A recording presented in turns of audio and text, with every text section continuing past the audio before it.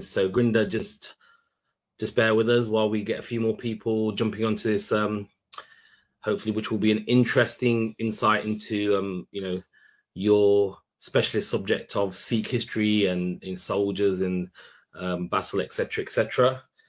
Um, so we're just waiting for a few people to join us. So once I see Grinda, well, yeah, actually joined. So Grinda, just bear with us. Just got some technical support in the back today. I thought I'd um switch some locations today with a bit more better lighting that I normally have. Um, you know, your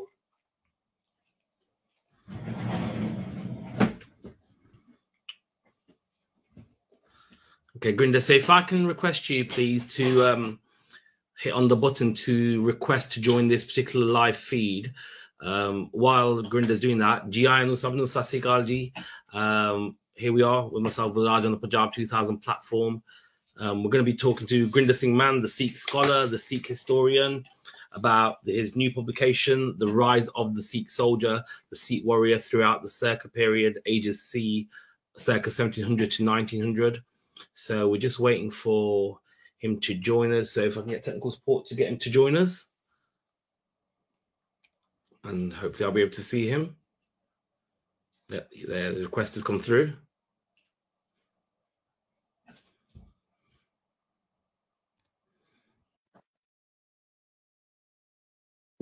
Try that again. Oh, wait, we've got it. Hi, Gurinder, you okay? Yes, sound very good. Thank you. Sat Sri Akal. Sasikal ji. Can you hear me okay? See me okay? Yeah, everything sounds good. How about my side? Yeah, yeah, absolutely. Clear as can be. Um, you know, as you know, with technology, phones tend to be better than normal computers and, you know, the camera accessories that come with it. So we're good. How are you first on this wonderful sunny day and week we've had so far? Tell me. Absolutely fantastic. Um, things are very good at the moment. Uh, the weather's great. Uh, the book's doing well. I've had a lot of interest since we released it a couple of weeks ago. And basically looking forward to this evening and just uh, discussing the book and possibly take a couple of questions from the audience as well. Yeah, absolutely. I was going to say um, this platform is for not just for me to talk to you, Grinda. I'm sure you appreciate it, but this is also for, like I said, the audience to get involved. Um, you know, to ask the questions that they may have or any areas that they may want to question in terms of what they believe or assume or have myths about what they think has or hasn't happened in the past in terms of you know Sikhs and their you know uh, participation in war and you know warfare and armies and so forth. Um, so for those that don't know, Gurinder Singh Mann, he's been you know um, a Sikh historian for you know, at least 25 plus years.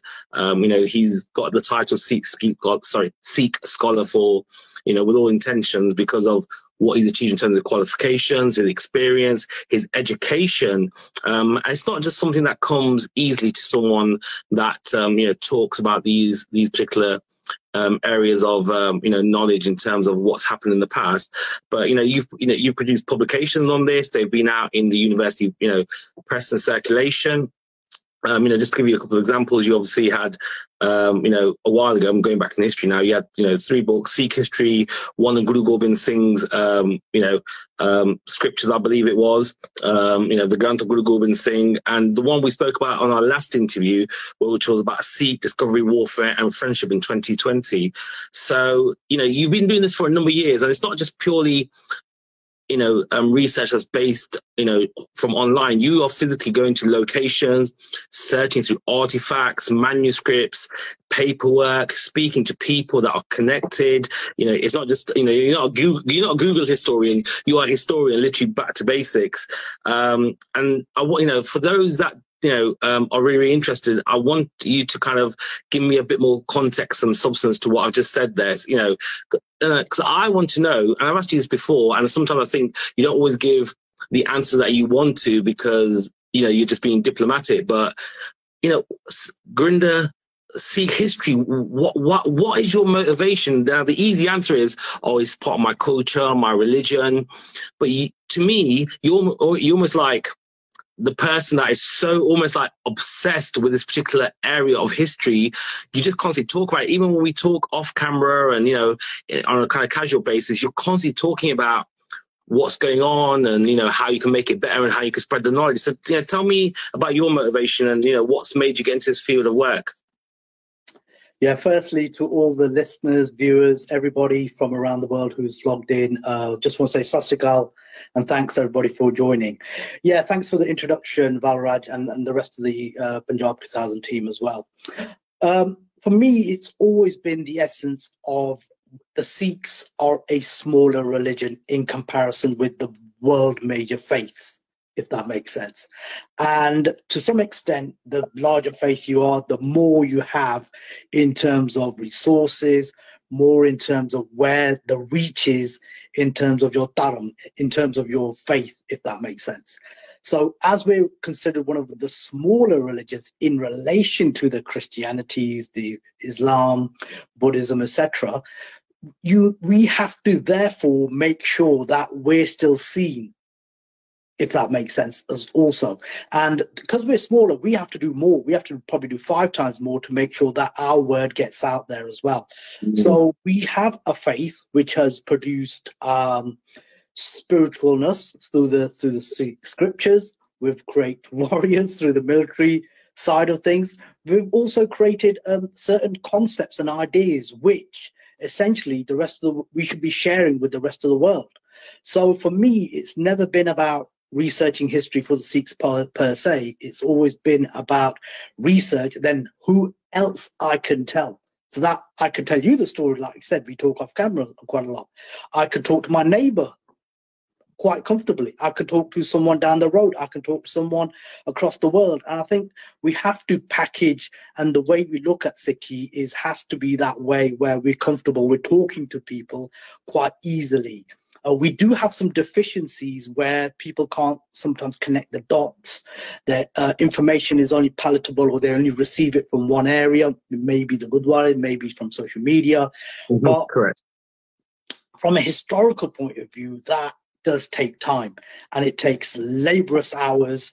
And you just mentioned, I'm not a Google scholar, I'm a field scholar. And there's a big difference here. If you're not prepared to go a thousand miles or 10,000 miles or 50,000 miles to actually discover and look at the way Sikh history was actually shaped, then you're going to have to watch some Disney movie instead.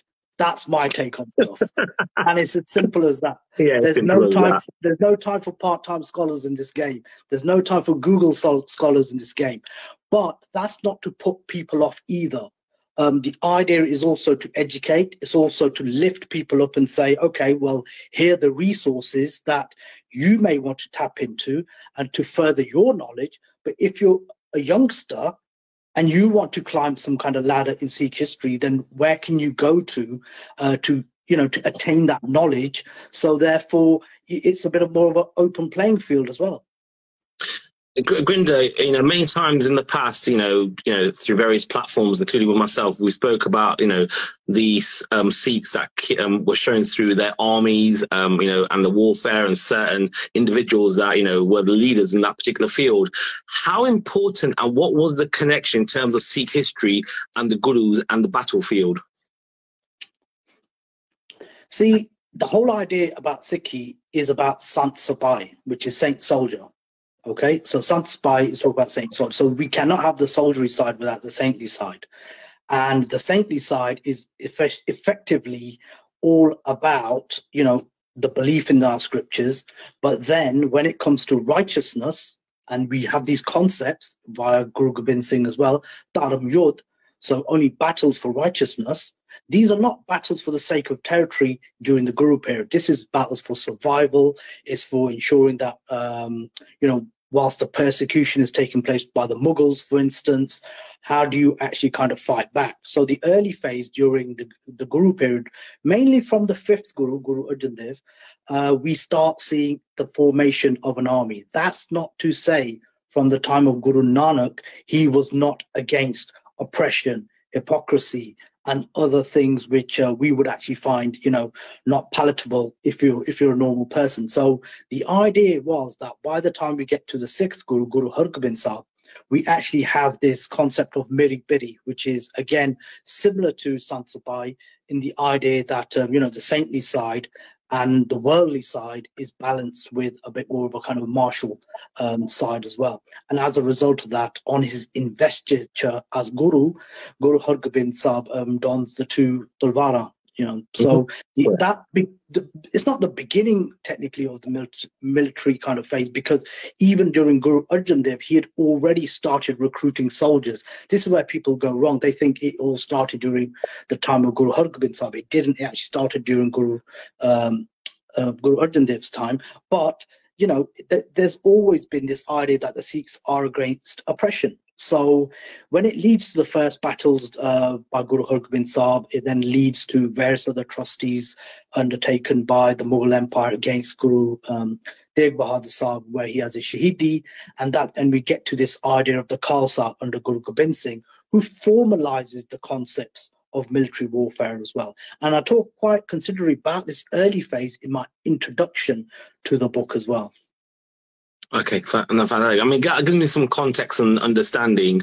I mean, to be fair, I was being quite selfish because I wanted to know what that connection was. So that gives you a bit of a rounded answer. So yeah, no, that completely makes sense. So again, I just want to make very, very clear, guys. This is your platform for um, you guys to ask questions. So please, you know, if you have any questions, you know, obviously I'm here to kind of um, facilitate that contact between you guys and Gurinder and obviously ask the questions to keep the flow here. But please jump in, ask any questions, you know, anything you want to know. This is your opportunity. It's a golden opportunity. Let's, um, you know, let's, let's talk about it because we're here to talk about his new book, but I'm sure Gurinder, as always, will be welcome to any other questions around these particular topics.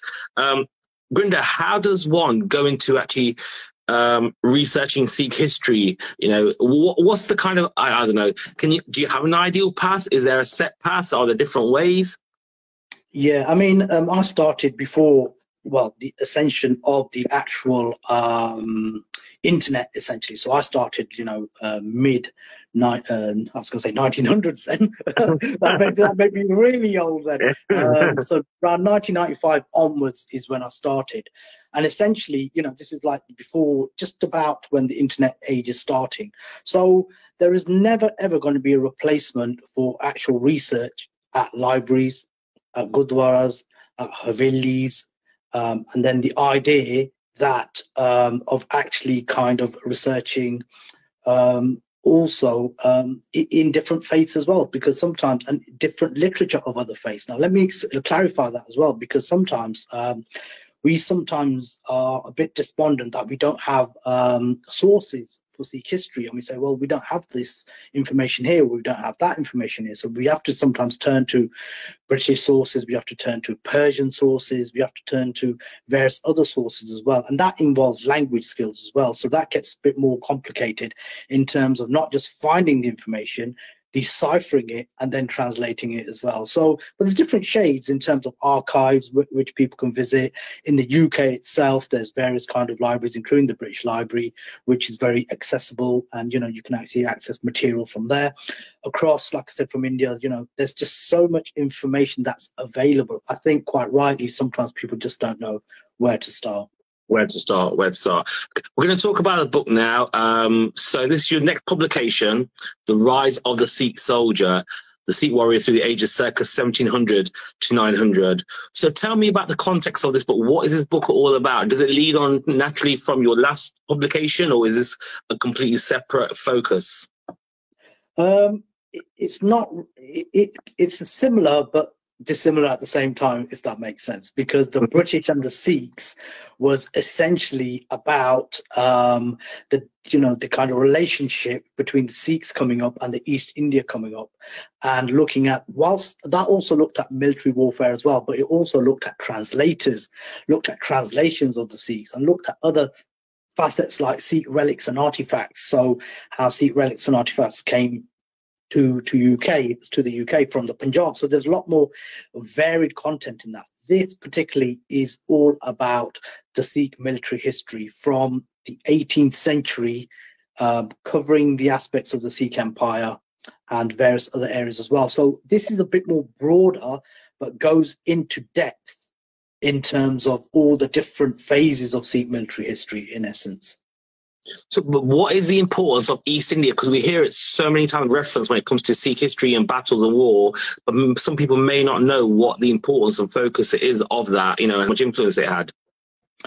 So, so just to put in context, the East India Company came into uh, India um, around about 1600, And so what they did was the, the whole idea of the East India Company was to go to, go to trade. So they were given kind of treaties to actually be able to trade in India. And then from the 1600 onwards, their power started increasing. When we get to the 1700s, they're actually now actually able to effectively um, barter with the Mughal Empire and also able to raise taxes as well. So they've gone quite a bit from their early inception. But then the East India Company, what they do is they actually have this idea of trade, but also they keep an army with them to protect their trade. Right. So some people think the East India Company is just an army. It's not. The East India Company went out to the to India to trade, but they were facilitated by an army. Now, this could have been the locals from where they were where they were based.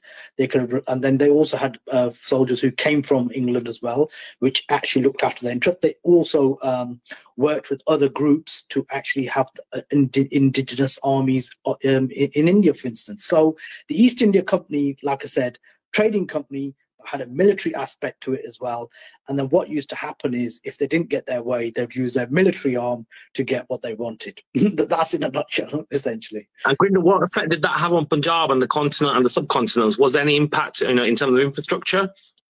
Um, in the 1700s onwards, there was very little contact uh, with the East India Company and the Sikhs in terms of military. There was like little bit of correspondence um, taking place mid 1700s. It was the other way round. It was the Sikhs who were attacking East India Company territory actually in the late in the late 1700s. So we're talking about under Baghel Singh, under Jassa Singh Ramgarhia, they actually reached an area called Anupshahr, which was a East India Company stranglehold, and a small skirmish took place between the British and Sikhs because normally we think about uh, the battles of the Anglo-Sikh wars, but small skirmishes did take place into 17 late 1700s, very little. Um, but it also put the Sikhs on a plateau as well to actually let groups like the Mughals, the Rohillas, uh, the Rajputs, the Marathas, and the East India Company know that the Sikhs are not just a Punjab based um, Dharam or faith or group, we're kind of a bit more global, at least from the Northern Indian point of view. Okay. So again, you know, purely for context and you know, for, in layman's terms, from someone that's for me, someone like me that's always wanting to learn. Essentially, what is this new book about then? So the idea is to actually kind of go through uh, Sikh military history, but go through the through the idea of certain individuals as well. It's very easy to, uh, to do a chronological history, 1700 to 1750, 1750 yeah, to 1800. But I wanted to go through the the idea of certain individuals, certain Khalsa warriors. So I've chosen names like uh, Jassa Singh Ahluwalia, Charat Singh Sukerchakia. I've talked about the females. We'll, we'll talk about that as well, which is Sada Kaur and Sahib Kaur, and mm-hmm. Phula Singh, uh, Hari Singh Nalwa, Lehna Singh Majithia. And the idea is these pertinent people, I've kind of um, tried to show their history as to how they molded um, you know the Sikh Empire and also the Misl period, which is the 18th century, the Misl period to an effective way of which the Sikhs used to govern. So let's get this clear as well. This is not just about military history; it's all about governance as well, about the Sikhs having a government if that makes sense, the issuing of coins as well. It's not just, and I use this word kindly, a ragbag bunch of soldiers who are just going out there marauding or trying to protect their faith. There hmm. has this scientific nature of the Sikhs in terms of actually having governance. And I think that's a very, very important point, which I'm trying to make as part, part of the book. And this is going to actually bring me on naturally to my next question. So when this connection um, happened between the British and you know the um, you know the Sikhs, you know, who were part of an operation, you know, military wise or army wise. Who was the more dominant power? Was it a case of the British said, "Look, we'll tell you what to do. This is how you're going to do it," or were Sikhs pretty um, pretty strong and say, "No, we're going to do things our way"? Um, how did that contact communication happen? Well, it's really interesting actually because this is a really really pivotal point in the 18th century. Um, the, uh, at the late later half of the 18th century, people like Jassa Singh Ahluwalia, who's the head of the Buddha Dal, um, and other Sikh leaders as well, they actually wrote letters to the British and vice versa. So we as Sikhs used to have vakils, as in like our kind of agents, if you want to call it that, in the Delhi Darbar, for instance. So Shah Alam was the emperor. The Sikhs used to have envoys there. All the other different groups used to have envoys as well. And there used to be the passing of letters via Delhi. So we can study those letters between the British and the Sikhs, and we actually find that the British are trying to figure out what the Sikhs are all about. They're trying to figure out are they a, a threat to them? Are they a threat to Delhi? And this is how the initial um, kind of correspondence starts between the British and the Sikhs because the British want to know exactly what the Sikhs are about because when they start dominating Delhi from 1783 onwards, at least, um, you know, it makes them think as to who is this new power. So through correspondence, they start getting this kind of wouldn't use the word friendship, but they but the words used in all the letters are friendship. We want to have friendship, but you know, it's more a kind of cloak as to what that word friendship actually means. Yeah. So you touched upon it briefly, but just to go in a bit more detail. So, what, in terms of this actual book, The Rise and Sikh Soldier, what is so different about this book compared to and from the one I obviously referenced earlier on from 2020, The British and the Sikhs? What's the main difference? I think this uh, this has more. I mean, just from aesthetic point of view, this has more images. It has uh, more. It has more maps in it as well, which I think um, really um, accentuates the book. There's actual chapters which are uh, go into depth as well. Whilst the first book does talk about the Anglo-Sikh wars, this time around there's all the kind of details which go along with the battles as well. There's lucid maps, for instance, showing Sikh positions as well. Now this is really really important when you actually look at um, the study of the Anglo-Sikh wars, what you see is maps, but you always see the British positions, but you never see the Sikh generals. I really wanted to actually make sure that every map that was in this book actually had the Sikh position, because I've seen a lot of um, Anglo-Sikh war maps, and it just says Sikh, or it just says artillery, infantry, or cavalry, but never the names of the leaders. So I wanted to purposely make sure that there's detail to these specific maps which were included. And where did you source and verify the maps and the information was legitimate in terms of location and positions, you know, of these individuals on the maps or these groups on the maps? Yeah, well, firstly, we had, well, I had um, some information because you kind of got the idea of what artillery is. we have uh, and then we also have the descriptions so whilst i'm talking about the descriptions of the battlefield we know that the british commanders were on the right in the middle on the left. We know that the sikhs were on the right and the middle and the left. So i'm a bit perplexed that no maps have been created in depth which shows us which show the sikh positions because when it comes to descriptions it's always been there. But um, i just wanted to make sure that you know that we covered it effectively um, as part of this book. Okay, I'm just going to move on to the next question. Now, in the book, you touched upon um, the Sikh Misl. Um, quite an interesting area. Um, you're to you have you kind of mentioned a couple of names. You covered Charat Singh and Singh, you know, Ahluwalia. Why did you choose those particular Khalsa, you know, chiefs? And there were others in the book, but those particular ones they were highlighted. You know, expand on that. Tell me a bit more about it. Give me some context to that.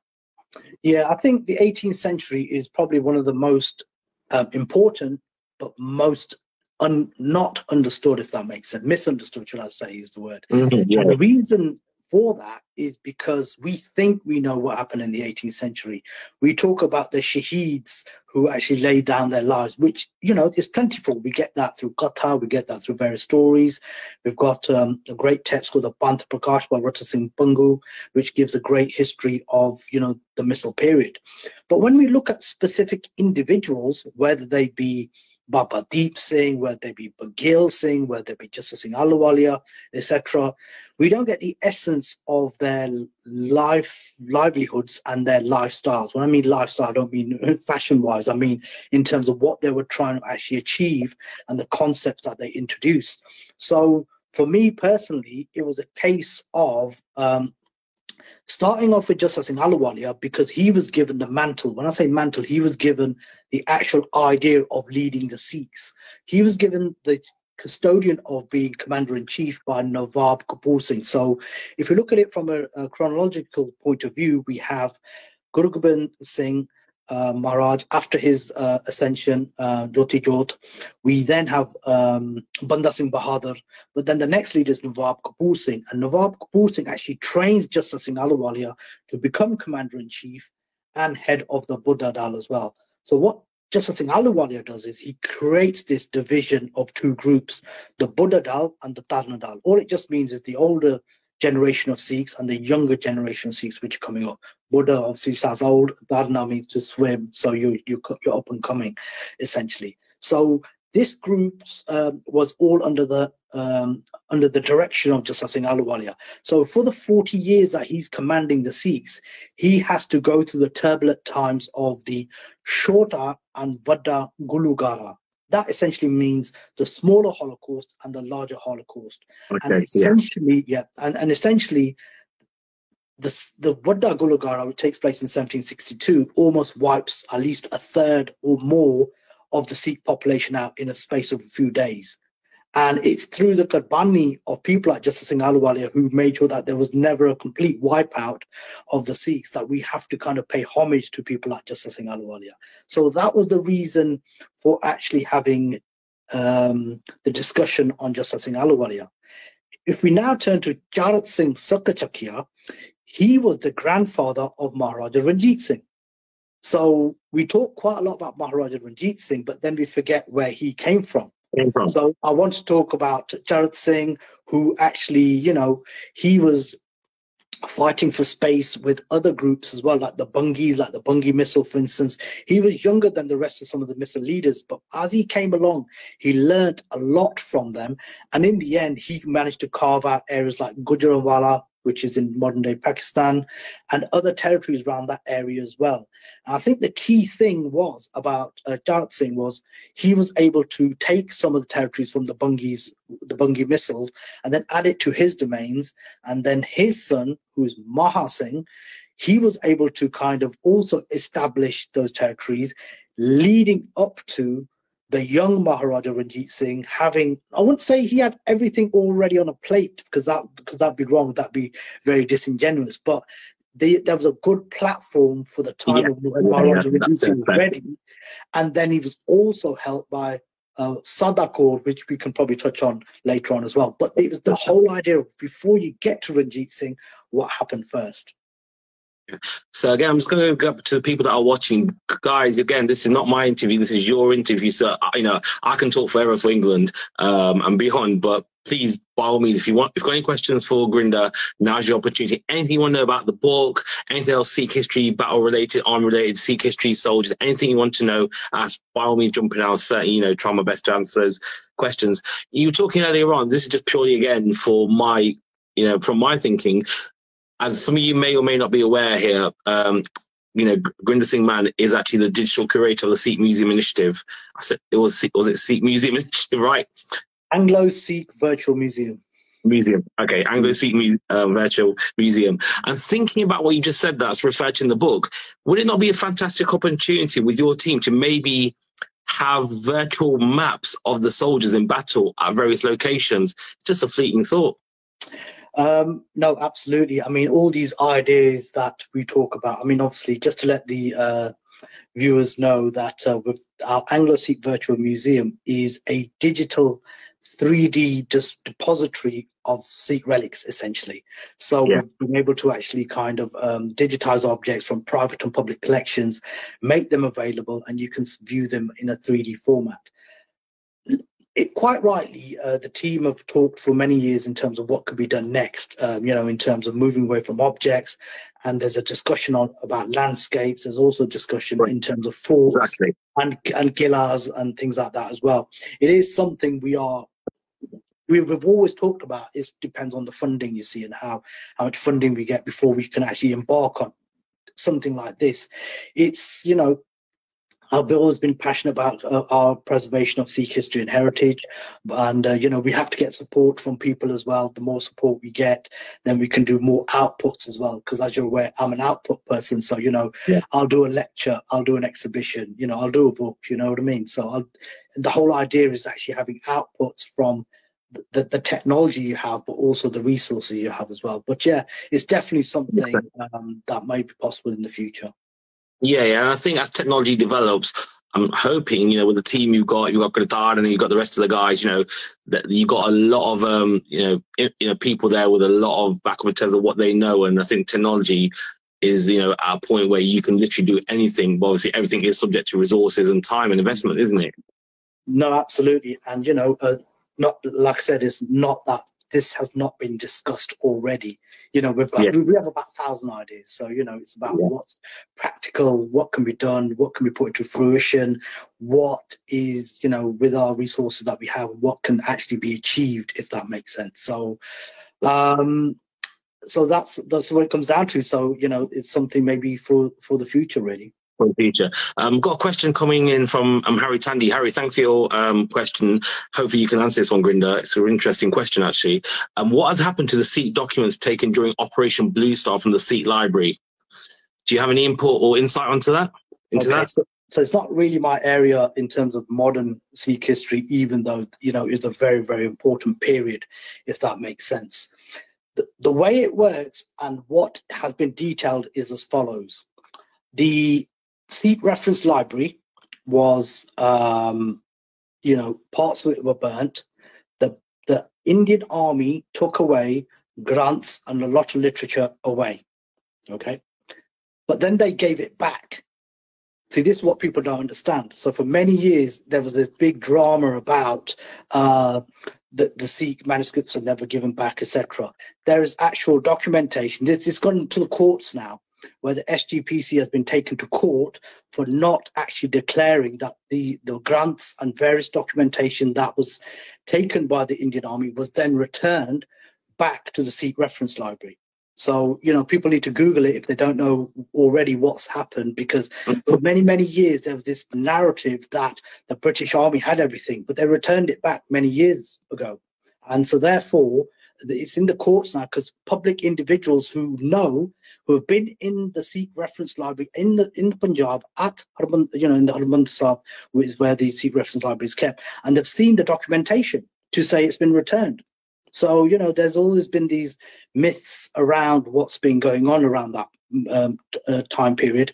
Interesting person called Anurag Singh, who was the director of the library um, recently, of so many years ago. He's the one who kind of figured out that there's some kind of um, something underhand going on in yeah. terms of the return of but that's you know that's not exactly my area of history but that's what i know from the information i've seen um, just for my information, maybe also our viewers out there, have you ever had the opportunity to look at the library at Harmandir Sahib and look at the manuscripts and documentation and, you know, for your own research purposes? Yeah, briefly. Um, but the problem has been is that the majority of the items um, which yeah. were there are no longer there, longer and, there. The ones, and the ones which are supposed to have been returned aren't there either. So there's a lot, lot going on, like I said. Mm-hmm. But um, but there's various kind of libraries all across the Punjab which has you know great information available. There's archives available. That even some of the museums have things, but they they're a bit harder to have access to. I mean, obviously here in the UK, um, the amount of different granths that we have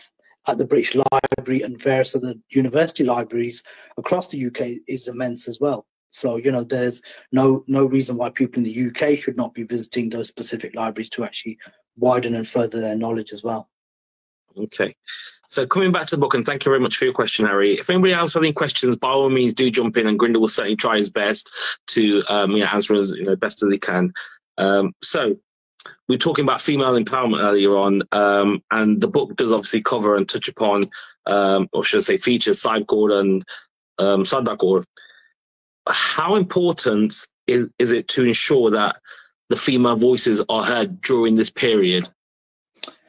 I think uh, what's actually happened is um, I think Sikh historians have been very disingenuous in terms of not giving the kind of um, respect that Sikh women should have in the Qawm. Um, we talk about the Guru period, but when we talk about the Misl period, which is a very, very pivotal point, and also the um, Sikh Empire period as well, we actually find that uh, the Sikh women were actually very, very powerful, and they've actually been absolutely, you know, relegated, negated, and just faceless as well. So we don't even know what they look like because the portraiture is never brought to the masses, if that makes sense. So what I wanted to do was to at least devote a couple of chapters to two pivotal women. One was, uh, one is, should I say, Sada Kaur, who was the um, mother-in-law of Maharaja Ranjit Singh, and her importance is she's part of the Kanhaiya Misl, but she was the individual who allowed Maharaja Ranjit Singh to climb that ladder to become the Maharaja, if that makes sense. So without his help, without her help, sorry, I don't think um, Maharaja Ranjit Singh could have got to that position. So just to put in context, um, Kaur's daughter, Mehtab Kaur, was married to Ranjit Singh. Okay.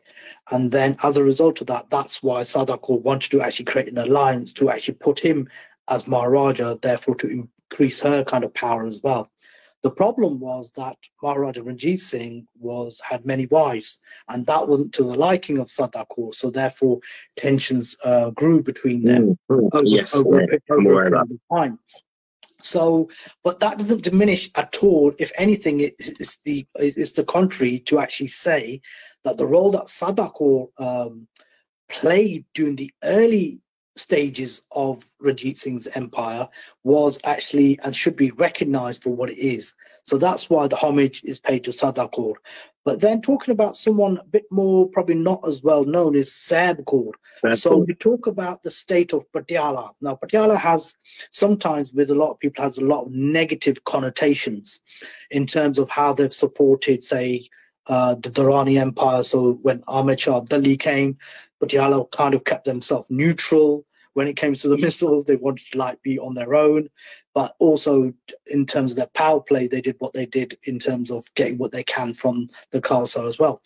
But what you find is that the women were very, very strong. So we talk about individuals like Rajinder we talk about individuals like Sahib Kaur because Sahib Kaur was actually also married to a Kanhaiya chief as well.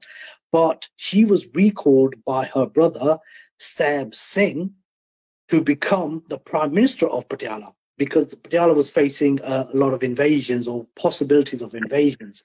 So Sahib Kaur becomes the um, the prime minister of Patiala. Her first incursion in battle is with the Marathas. So the Marathas have come all the way from the areas around Delhi, crossed to crossed to Jamuna, and they've approached uh, Patiala. But they didn't come to have battle with Patiala. They came to fight Jind. So what Sada Kaur is now saying is that uh, look, if it's Jind first, then it's going to be Patiala next. So why don't we take the offensive and try and protect Jind? Because if Jind goes down, then we go down next. But why don't we help Jind, as in the state of Jind? So her brother Sahib Singh was not so keen, but she took her forces down. She was helped by other male Misl leaders as well, which kind of shows the respect she was given by the male brethren in terms of warriors. So therefore, the, the Marathas were defeated at that particular point. We then move on to other battles she uh, participated in, and this includes the battles with someone called George Thomas. So, an Irishman, a mercenary, so not part of the East India Company, but someone who just created his own little town, called it Georgegarh, and then thought, you know what, I'm going to take out all the Sikhs. And he had the advantage because he had artillery, so he had guns with him. The Sikhs were a bit more inferior in terms of gun warfare at that particular time. So he attacks Patiala. Um, again, Sahib gets the gets the help of people like Baghel Singh, for instance, and others, and helps to actually protect and ward off the the, the issues that could have faced Patiala. In the end, uh, Sikhs are victorious, and Sahib is actually praised. But her brother Sahib Singh is very very jealous of the way she, she's actually conducted herself, and he actually imprisons her for doing a good deed, he imprisons her. And who comes and who comes to the rescue? George Thomas. Thomas. yeah. the person that they were battling with, and eventually a peace treaty takes place, and then, but still, at the end of the day, um, she actually went into relative obscurity because of the male dominance within the Patiala court. But just, I wanted to highlight her role just to show that you know Sikhs were the Sikh women were warriors as well, but also they had diplomatic skills as well. So I think it's really, really important. On one hand, we have uh, you know the military skills but also the diplomatic skills as well. So which need to be actually kind of uh, discussed more i think when we use the word military. Military. Um Gurinder how is a sikh scholar historian like yourself and other historians out there able to you know get such detailed accounts of what actually happened and how it happened and how you know um, the particular fighters or you know individuals that are involved in the wars felt and you know how they celebrated, etc. You know, because it, there's such a storyline there. But you know, I, I, mean, one can only assume there must have been some diarized notes. There must have been written accounts through newspapers. You know, logic would prevail. But maybe there's other sources as well. I, I don't know. You know, you know, enlighten me. Well, interestingly, uh, we do have Sikh sources about uh, Kaur, but in but but the British sources are abundance at that time. So we're talking about the 1790 period on uh, now. We're talking about the 1790s area. And essentially, um, during that time, we have accounts by George Thomas himself. So he wrote a book saying, narrating his history and, you know, those battles that he had. We have other British individuals at that time um, narrating what happened as well. And even later, when we get to the 1800 periods, we actually get, it's, it's, it's interesting to note that the British are saying that the Patiala women were stronger than the men. Which, okay. you know, which is really, really fascinating. And I've got all these accounts in the book as well. So it was just an idea that even at that time or later, uh, for instance, was praised by the British, but yet it's taken, you know, hundreds and hundreds of years, well, not, but decades and decades later, mm. for us to actually recognize the accomplishments of someone like Sahib Kaur.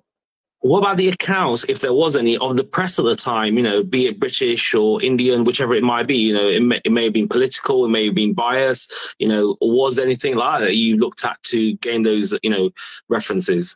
Okay, so um, there is accounts, like I mentioned earlier on about the Delhi Darbar. So, Darbar, yes, court, I remember that. Yeah, the court was in Delhi.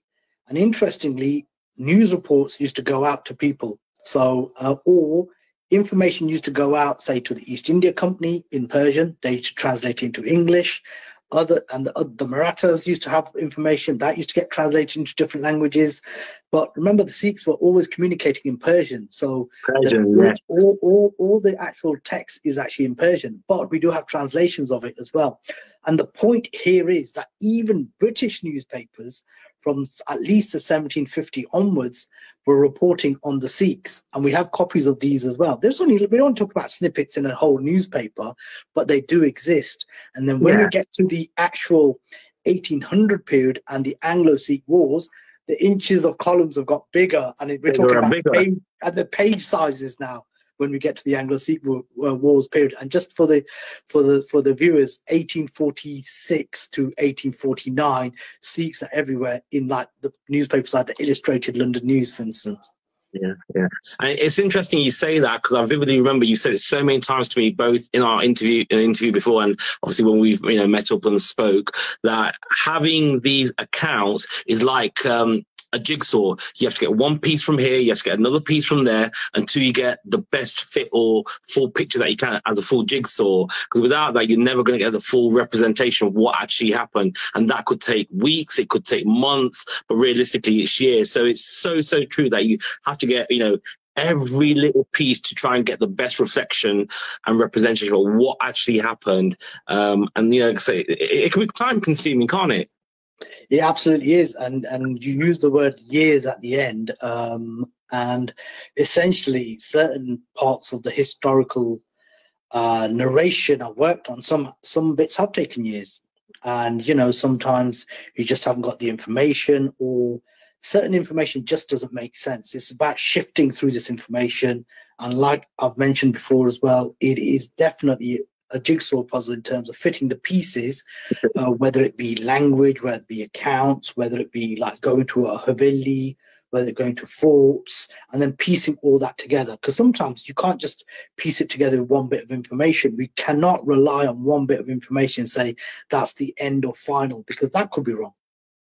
So, you know, where I yeah. can, where I can, I try to supplement it with at least other bits of information which kind of lead to that same conclusion. So if you look through the book, it's heavily footnoted all the way through.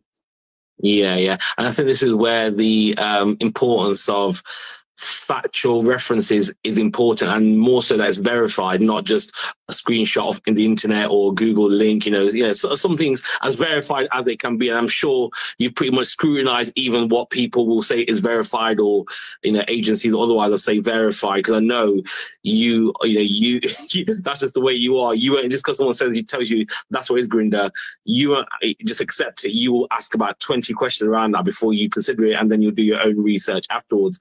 Um, I'm just conscious of time, but I think we've got a good flow going on. And while we're talking about female empowerment, we've had a question come through. Um, Escatura Saab, thank you very much. Um, it's a great question, actually. And, you know, like I said, links in nicely to what we're talking about at the moment. On the topic of female Sikh leaders, Gurinder, how would you describe the rule of Mata Sahib Devi and Delhi and what evidence is there of this? So, yeah, yes, it looked to me like a challenging question, but I'm sure you've got an answer of some sort evidence sorry evidence of what? Sorry just can you repeat the question again? Yeah so it says on the topic of female Sikh leaders how mm. would you describe the rule of Mata Sahib Devi in Delhi and what evidence is there of this? So what's the evidence that backs that she had that you know, power? So Mata Sahib Devi um, and the and other leaders at that time we have uh, what we call um, hukamname okay? So hukamname are uh, directives which were issued for the Sikhs because they were based in Delhi. They could were able to send letters out to the Sangats to say to support the Sikh cause in the Punjab. So we have that as direct evidence.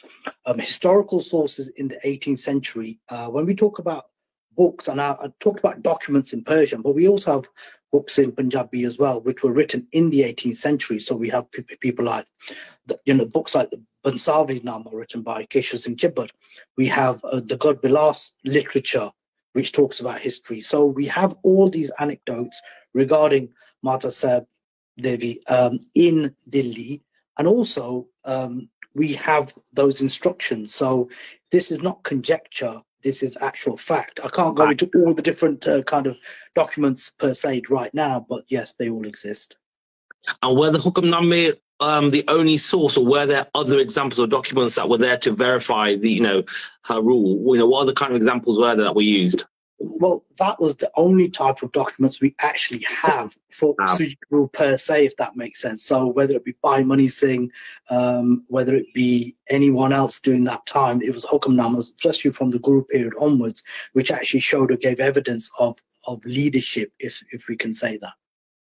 Okay, so guys, we're here live with Gurinder Singh Mann, Sikh, Sikh scholar, Sikh historian. So by all means, do jump in with your questions. We're talking about his new publication, The Rise of the Sikh Soldiers. So it'd be great to get your input as well. This is not my interview. This is our interview. So please jump in, you know, Sadda Parwar, you know, we're all Mr. Dost here, so do not be shy. Whatever you want to ask, it might not be around the book, it might be about any other issues that are related, which Gurinder might be, answer, be able to answer around Sikh history, Sikh soldiers, military, warfare, armies, etc. So yeah, by all means, jump in. You know, this is your platform, not mine, quite Milani's, you know, but it's all yours to make the most of.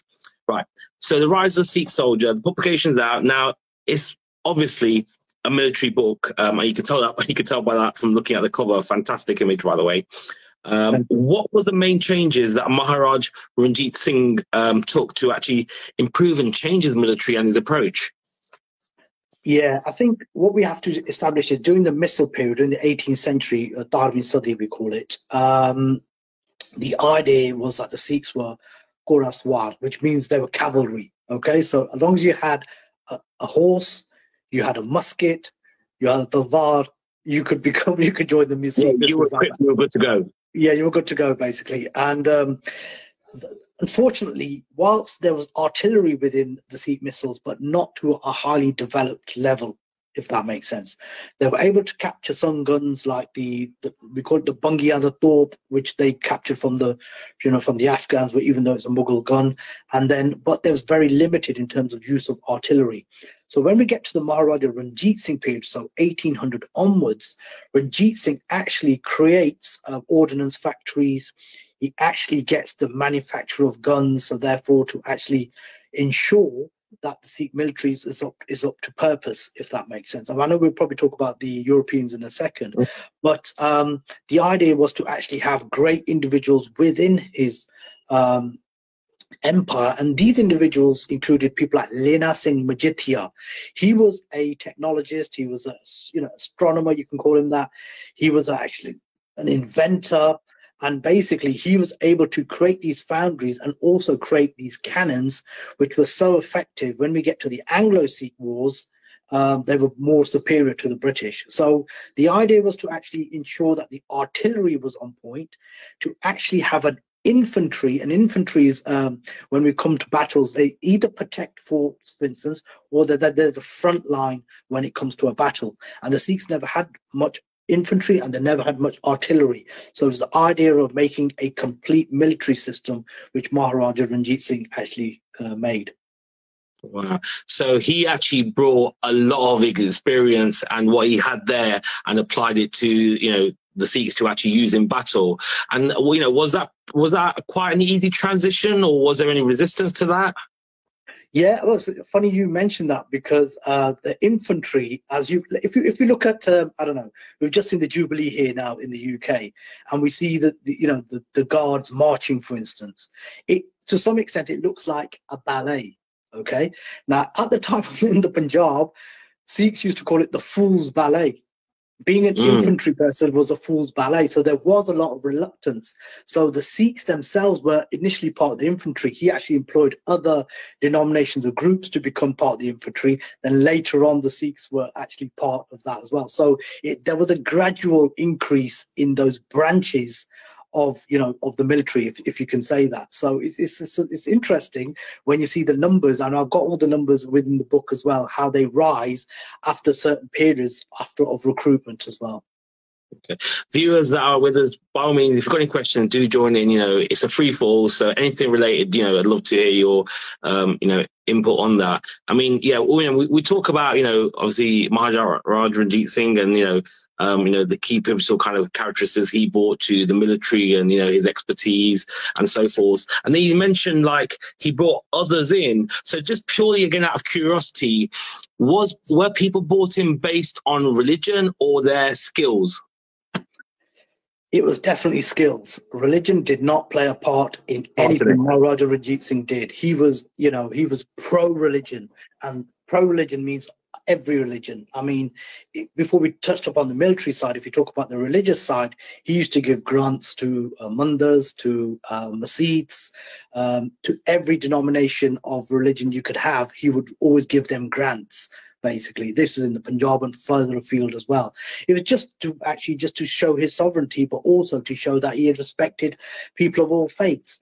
And this then came down in the fact that the Punjab was very cosmopolitan as well.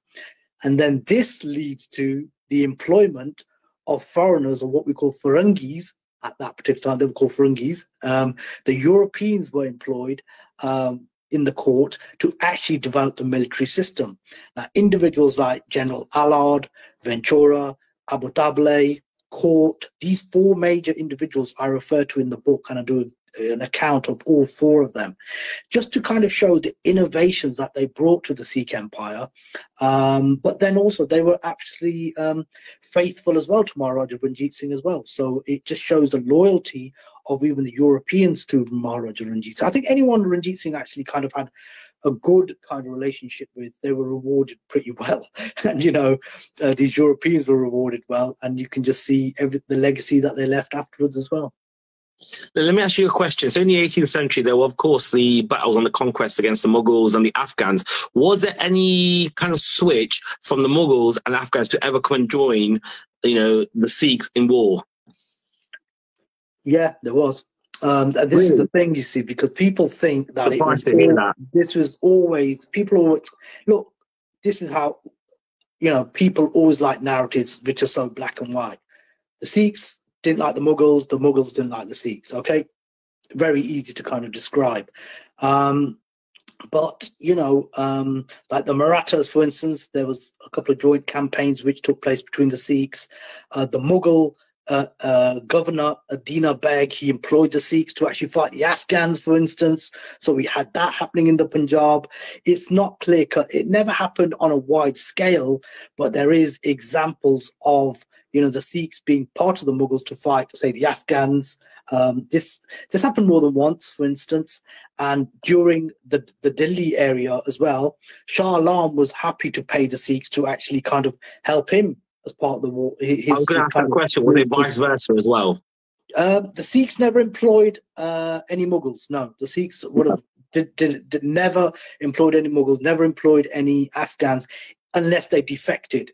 If that makes sense. right. Yeah, yeah. So they never actively recruited through their campaign no. unless they came over themselves. Absolutely, absolutely, and that's a really, really important point because even Ahmed Shah Abdali wanted to make a truce with the Sikhs eventually, and the Sikhs said, "No way, we are not going to be actually kind of having any truce with us." Especially after it also wiped out a majority population of the Sikhs, there was no way of coming back from that. But you know, there has been instances of joint ventures taking place, not just with the Mughals, the Marathas, the Jats. So the Jats were a community, you know, um, which was located beneath the um, um, below Delhi uh, geographically and the Rajputs as well. So these alliances are more important than people know about, if I can say that. Now, just to throw this in the mix as well, it probably would have been your, one of your last questions, but I am also working on a Sikh Misl book as well, separately which okay. will cover this association with all these different groups. Yeah, we'll certainly touch upon that towards the end. Um, but you know, that's really, really interesting to know because, like you said, the narrative's always been that they were with their teams, they were there with their teams, their armies, and that's it. But to actually know that they could defect and you know you know, kind of exchange in that way, you know, not exchange, but trade in that way, like, well, I'm going to go over there because things ain't working out. Do you think that was done out of um, worry that they know they were going to get beat on that side potentially, thinking, right, I'm going to deflect now because we ain't looking good? No, I, think the religion really played a strong part um, in terms of um, how each group uh, kind of maintained themselves. But what we do find is, again, moving a little bit away from the Punjab, more towards the Delhi side, for instance. Um, so, the Marathas uh, employed, you know, Europeans as well, well before Maharaja Ranjit Singh did. So they used to have Europeans within their armies, and you know, some of the Europeans used to defect as well. So we talked about George Thomas earlier on. He defected from the Marathas to create his own empire and things like that as well. So there's always people jostling for positions depending on how powerful they became. And with the Sikh Misls as well, this is a really important thing as well. People think that once you're in, in a particular Misl, you could stay in that Misl that wasn't true either. You could also defect from one Misl to another Misl as well. yeah. Right. Okay. So there's so, internal disputes as well on that level. I guess that could yeah, occur. Absolutely. And you know, you know, I don't want to make anything perfect, but you know, you no, have no. To, you have to point out these things as well. So, um, and they've got a lot of evidence of that taking place as well. Yeah. So. Well, she's far from perfect, as we know. You know, given the sources, if it's actually shared with due diligence, and you know, you know, with with no restrictions. Um, you, you, mentioned a few times about recruitment of you know, um, you know, armies and you know, into battle, etc. I'm just curious, how was that recruitment? You know, how were these recruitment campaigns done? How was that communicated? You know, you mentioned, you know, Maharaj Ranjit Singh and, you know, just like Ahluwalia. How did they effectively go out and get the fighters that they needed to partake in battle? You know, it just boggles the mind at that time how that was communicated. We're so used to how things are done now through social media campaigns, newspapers, adverts. But at that time, if you're in a land of warfare and you know massive open fields and whatever it might be, how do you do that? How do you recruit you know specific individuals? I think the period of the 18th century differs with the Sikh Empire period, so I'll just break them down separately. So the Sikh um, Misl period, remember the Sikhs were fighting for their survival. Correct. So let's just say you're a farmer and the Afghans have come and they've desecrated your area. You've got nothing left.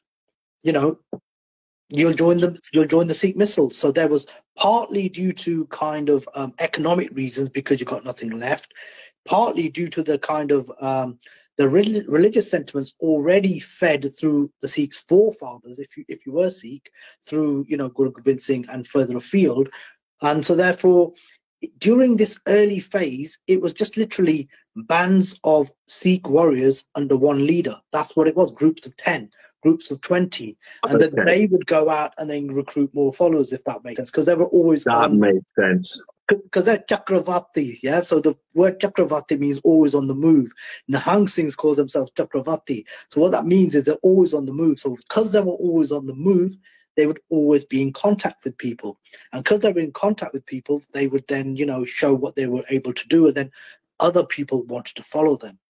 And that's what was the initial early kind of recruitment phase, at least during uh, the Misl period. The Sikh we, Empire. We've only got 20 seconds remaining on this, okay. so we do cut off. Yeah. Just give me two minutes and then I'll have to jump in again. Okay. The Sikh yeah. uh, Empire period is slightly different because of the fact that uh, Maharaja Ranjit Singh now has um, conditioned uh, Sikh soldiery and he has general